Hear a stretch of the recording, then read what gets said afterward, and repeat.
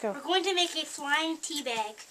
And all you need is a pair of scissors, a bowl or cup, a small piece of aluminum foil, and a tea bag. And to start, you're just going to cut the top and try to make it as straight as you can. And you're just going to throw that away. And you're going to pour all the contents into a your bowl or cup. And then it'll come out looking like this.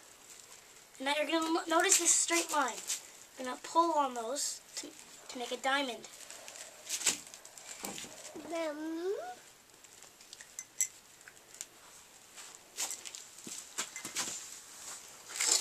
And you're going to rest it on your small piece of aluminum foil. And you're going to ask an adult to um, light your tea bag. And you're going to watch it.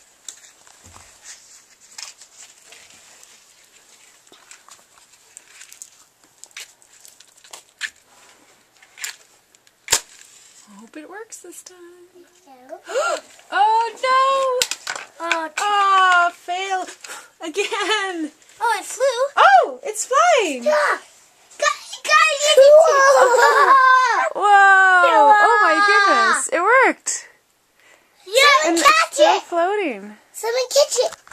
Dad, we don't need to catch it. And that's it. That's what's left. Don't forget to drink your tea. Just get one of the little one of these and pour it in very carefully. And then just put it in a little tea ball. Don't forget to drink your tea.